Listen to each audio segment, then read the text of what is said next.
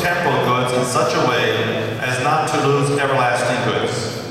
For you are a merciful God who loves us all, and be give glory to you, the Father, the Son, and the Holy Spirit, now and ever and forever.